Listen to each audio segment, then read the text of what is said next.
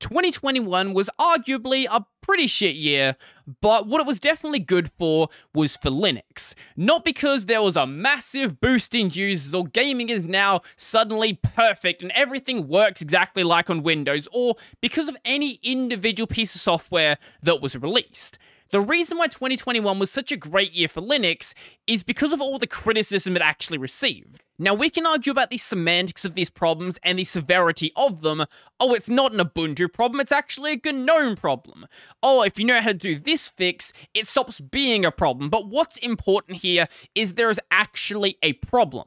And I don't expect every single Linux user to be able to articulate specifically what application is having a problem when they don't know everything they actually have installed. When you have something like Ubuntu, for example, or I don't expect every single user to know how to fix every single problem they have on their system when sometimes those problems are actually pretty advanced. And for a good part of it, it's actual useful criticism from people who know what they're talking about from new and advanced Linux users alike. Not the typical, oh, Linux bad because Windows good, that you'll see from someone who's literally never used Linux in their entire life people who are using Linux who are questioning whether the current experience is the way that it should be. Oh, this is the way that GNOME currently works, or the way that KDE currently works, or anything else currently works. But is this the way that it actually should work? Is this actually a good experience, or are we just handicapping ourselves because that's just what we want to do? Or are we just handicapping ourselves because this is the way that we've always done stuff? And while I certainly hope this continues into 2022, I know that I'm going to be doing exactly that on this channel, shining a light on these applications that I feel like have serious problems that should be addressed, Obviously, just being critical of applications isn't enough to actually get anything done. It really only gets us so far. So if 2021 was the year of Linux criticism, what I want to see is 2022 become the year of Linux improvement. Because after nearly 900 videos on this channel, there is something I can see really clearly in the FOSS world. Most projects out there focus on shiny new features that make their project stand out, while sidelining the less shiny but more fundamental changes. One great example of this is obviously GIMP. So, only now with GIMP 4 are we finally seeing multi layer selection. You know, that feature that's been requested for about 20 years something that could overnight massively improve the workflow of that application. But what's more interesting is adding in these new tools and new effects and all this fun stuff that makes the application stand out. And this isn't just a problem with GIMP. I can show you video editors like Kdenlive, Shotcut, I can show you other image editors, I can show you web browsers, I can show you text editors. So many FOSS applications have this exact same problem. Obviously, this improvement doesn't just happen because I say I want it to happen. Obviously, there is real work that needs to be done. Now, I could say to everyone, oh, just become a developer. Learn Python, learn C, learn Rust, learn Java, learn whatever language it is that your favorite project actually uses. And obviously, this is important because without developers, the work is never actually going to be done. But there are more than just devs in this equation. Most FOSS projects out there receive little or basically no financial support. So if you are financially well off enough to do so, I fully encourage you to go and support your favorite projects financially. Whether it's OBS, GNOME, GIMP, doesn't matter what it is, I'm not going to tell you what projects you actually should go and support.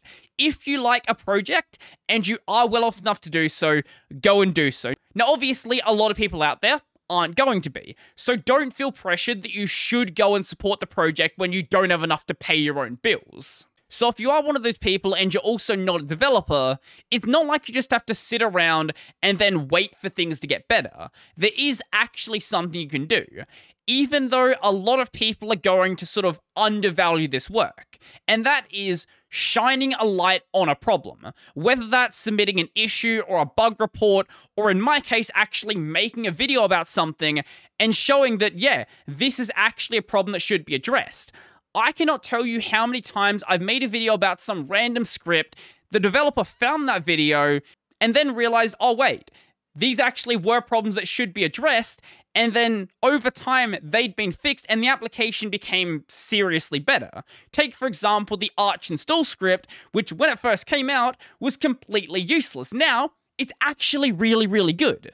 Now, not everything is a problem in the same way as I press a certain letter and the application crashes.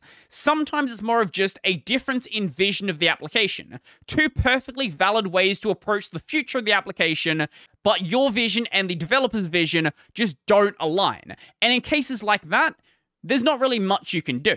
But whether it's a bug that should be addressed, a feature that people have been asking for for a while, or anything else that might improve the project, there's no harm in adding your voice to the pile and showing that there is more support behind this actually being done. Because with more support, it will encourage the developers to actually work on that thing.